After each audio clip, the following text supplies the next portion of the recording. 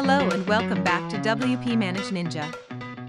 At the heart of every successful email campaign there's an email sequence that moved the audience and made way for conversation. But it's not that simple. Sequences come in all shapes and sizes. Which one you need depends on what you want to do with it. So let's note down some of the basic types. Lead nurturing. Lead nurturing sequences get the conversation started between you and a buyer. Engagement.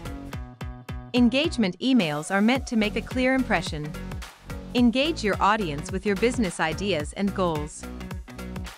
Sales sequence conversion. Sales sequence conversion emails help you close the deal with a possible customer. Onboarding. Onboarding emails familiarize your fresh new customer with your services or product. Renewal sequences. Renewal sequences are basically reminders for your existing customer that their purchase slash subscription is about to expire. Like Spotify and Netflix. With Fluent CRM it takes 5 steps to create email sequences. Create new sequence.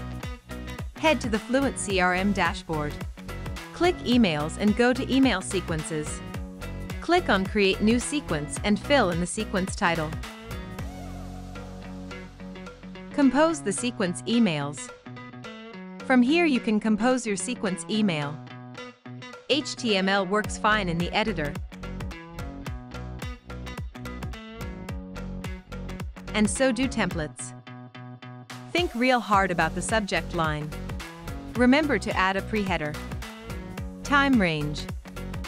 Set the time range for the emails to be sent. Check if you want to add any delays. Then, save the emails. Selecting recipients. When you're done adding sequences click on Check Subscribers.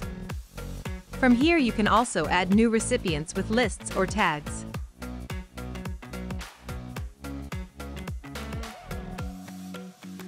Or you can use the Dynamic Segmentation Pro feature. Automation triggers. Next we need a trigger to start the sequence. The sequences we just talked about usually contain multiple emails. They're a splendid way to automate your email marketing. If you're an e-commerce business you can just start automation with a new order trigger. On Fluent CRM just start with a WooCommerce new order trigger to start. Let's say an onboarding sequence.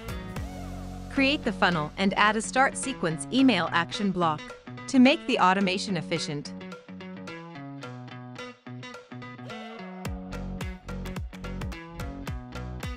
Now, if we want, we can simply end the funnel here with an action block, or we can add a tag to initiate another sequence.